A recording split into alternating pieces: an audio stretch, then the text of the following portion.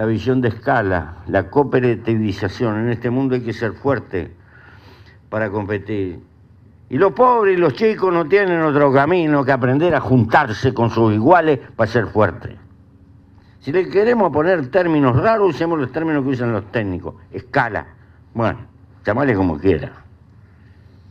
Pero el asunto que pasar la pata ancha y competir en este mundo, hay que darse proporciones que da la sumatoria. Y eso significa lo más difícil, aprender a trabajar en equipo, funcionar en una asamblea, poder tomar decisiones colectivas, generar instrumentos de servicio en común.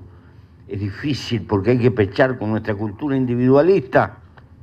Yo soy un pago chiquitito, así como un pañuelo. Tendremos como 400 tratores. Se podría arreglar todo con, con 20 o 30 tratoreros. Vaya a discutir uno eso. Lo matan. ¿Está? Lo que quiere decir que los agricultores familiares del futuro para subsistir en este mundo tienen que ser distintos a nosotros. Y acá hay un problema cultural. Con nuestro individualismo los debilitamos. Hay que aprender a funcionar colectivamente.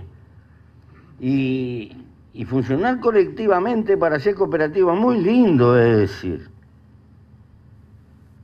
Pero significa aprender a ceder, aprender a negociar y aprender que nuestras verdades suelen ser relativas y colocar lo que hacemos a la expresión de los compañeros de la cooperativa que nos está metido adentro y respetar la opinión de ellos. Es difícil esas cosas. Es muy difícil, tenemos un problema cultural. Pero con todas estas salvedades, pienso que el mundo es grande hay cosas que no puede resolver ni va a resolver nunca. Eh, la propia lógica de la economía establece algunas cosas que por mayor evolución tecnológica que se tenga requieren la presencia humana. Eh, claro que las grandes empresas son inteligentes y han sido capaces de combinar a veces en algunos procesos productivos una cosa con la otra. La gran empresa tiene el plantel de madres ponedoras para producir pollos parrilleros, se encarga de la genética, le da los recursos y por ahí tiene un montón de gente desparramada para evitar los peligros que significa el amontonar mucho pollo, ¿verdad? Y tiene la seguridad de alguien que como le duele el bolsillo se preocupa y es mucho más eficiente que un empleado.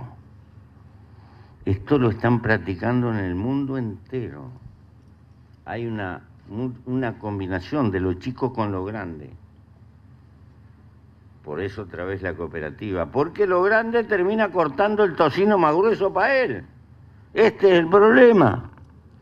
Y si no, ahí está la diferencia que tiene con Aprole, con todas las virtudes y defectos que puede tener frente a otras empresas. Eh, de ahí que la socia, el juntarse, el sentido de asociación, llámenle cooperativa, llámenle como quieran, tengan la libertad de creatividad, me parece que es un camino ineludible, pero necesita también formación al respecto.